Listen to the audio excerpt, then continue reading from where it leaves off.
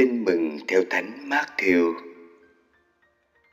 Mấy người sau chót này chỉ làm có một giờ, thế mà ông lại coi họ ngang hàng với chúng tôi.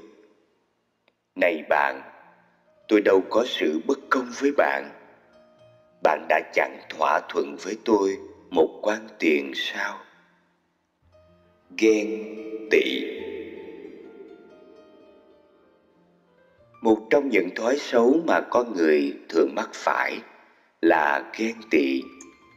Vốn dĩ còn là cửa ngõ, dẫn đến các điều xấu khác. Cựu ước còn ghi lại hai sự kiện.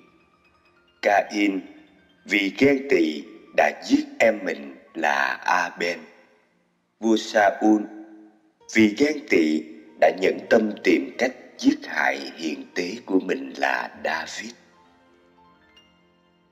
Đức Giêsu lên án thái độ của những người vào làm từ giờ đầu tiên được hiểu là những người Pha-ri-siêu giữ luật một cách chi ly.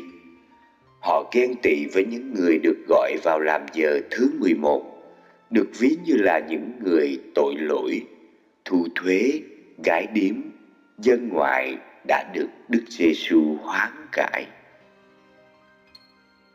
đi đôi với việc lên án thói ghen tị. Đức giêsu còn muốn đề cập đến tình yêu đại đồng của thiên chúa. Người không phân biệt kẻ giàu, người nghèo, người tốt lành, kẻ tội lỗi.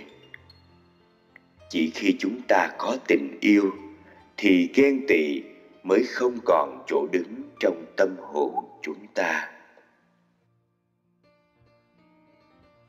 Lạy chúa, xin giúp chúng con biết sống quảng đại với hết mọi người, vì tất cả đều là con của chúa và anh em với con.